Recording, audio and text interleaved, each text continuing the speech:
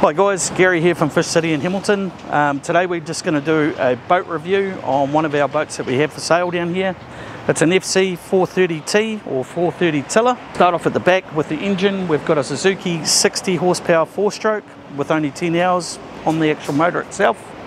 Uh, we've got a one step boarding ladder at the back.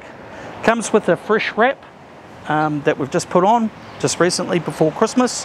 Actually changes colour also I'm not too sure if you can see it there. Comes in a two-tone colour between blue and green. Comes with a Voyager single axle trailer.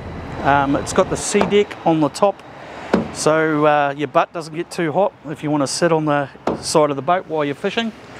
Um, it comes with a Lowrance Hook 5, depth sounder fish finder, roll blazer, anchor, chain, and um, it's on the market for 36995 If you are in the market, come down, see us, talk to myself, Jess or Ben, and we're happy to help out.